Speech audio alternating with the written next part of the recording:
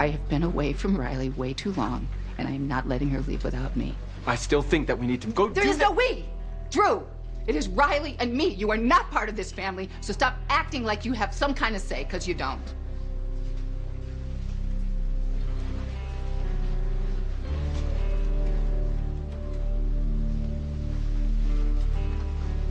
You're right.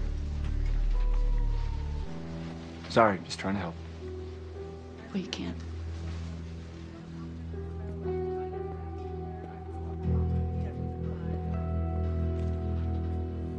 You knew you were moving. You didn't tell me?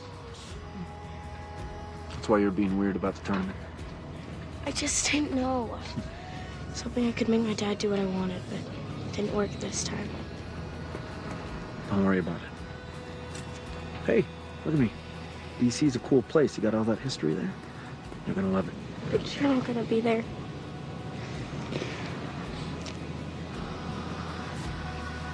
I'm really gonna miss you.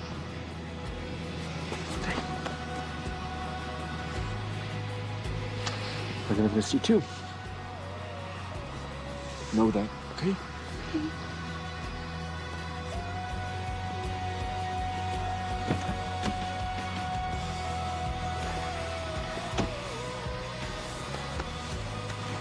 I'm sorry For what?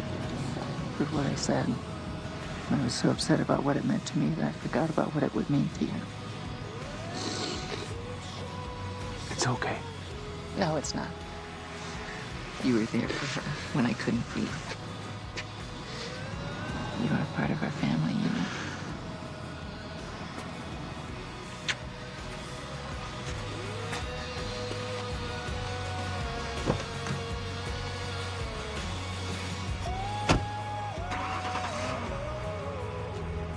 I'm gonna miss you, Drew.